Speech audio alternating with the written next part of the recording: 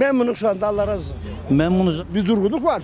Memnun değiliz. Bir şeyini görmedik. Hiçbirinden memnun değilim. Samsun'un Kavak ilçesinde yaşayan vatandaşlar, Belediye Başkanı İbrahim Sarıcıoğlu'nun seçim döneminde verdiği vaatleri yerine getirmediğini belirterek özellikle işsizlik sorununun bir an önce çözülmesini istedi. Kavak Belediye Başkanı İbrahim Sarıcıoğlu'nun bir yıllık performansını Samsun Canlı Haber TV mikrofonlarına değerlendiren vatandaşlar, seçim döneminde verilen sözlerin hala tutulmadığını söyledi. Kavaklıların büyük çoğunluğu özellikle yol, su, ulaşım ve işsizlik sorununun bir an önce çözülmesini istedi. Vallahi biz köylüyüz. Biz burada yaşamıyorum ben. Köyde yaşıyorum. Köyün yollarını isterim ben. Yani şu anda çöpler möpler alınıyor zaten. Daha biz yeni şey ettik. Yani biz böyle bir şey istiyoruz. Başka bir şey istemiyoruz. Yol. Bizim için en önemlisi yol şu anda. Ben köyümde hizmet görmüyorum ki memnun olayım.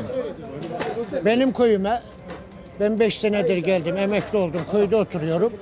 Daha ömrü hayatımda belediye, belediyesinin bir şey yaptığını görmedim.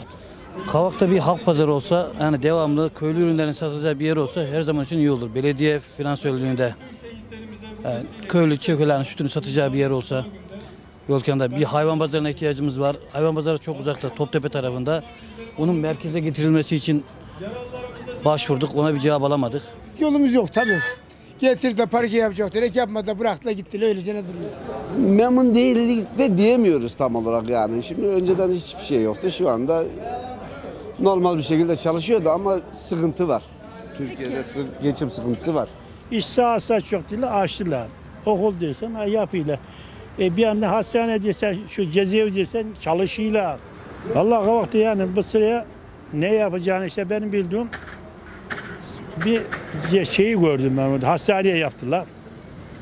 Bu devre. Geçen sene su santralı yaptılar yukarı. Su getirdiler. Ondan sonra ne diyeyim daha? Hepsi, hepsi birden olmay. Yavaş yavaş, yavaş yavaş olur. Hizmet dediğin e, eski hizmeti almak değil, yeniden bir hizmet yapmak. E, Şu anda herhangi bir şey, bu sene bir şey, fazla bir şey yok. Geçen sene bir şeyler yapıldı. E, buranın şehrinden bir şey görmedik. Ya e, organizeye biraz daha fazla bir iş e, getirmek, efendim köylerin e, yollarını yollarını biraz daha yapmak. Parkelerimizi yapsın, yollarımız bozuk. Doğalgazı getirsin, kavağa getirdi, buraya da getirsin. Yaşar Doğu'ya da gelsin, aşağıya da getirsin, yukarıya da getirsin, 19'a da getirsin. Hepsine getirsin. İşte bütün köylere falan hepsine doğal gaz versinler. Verirseler memnun oluruz. İşsizlik lazım, işsizlik.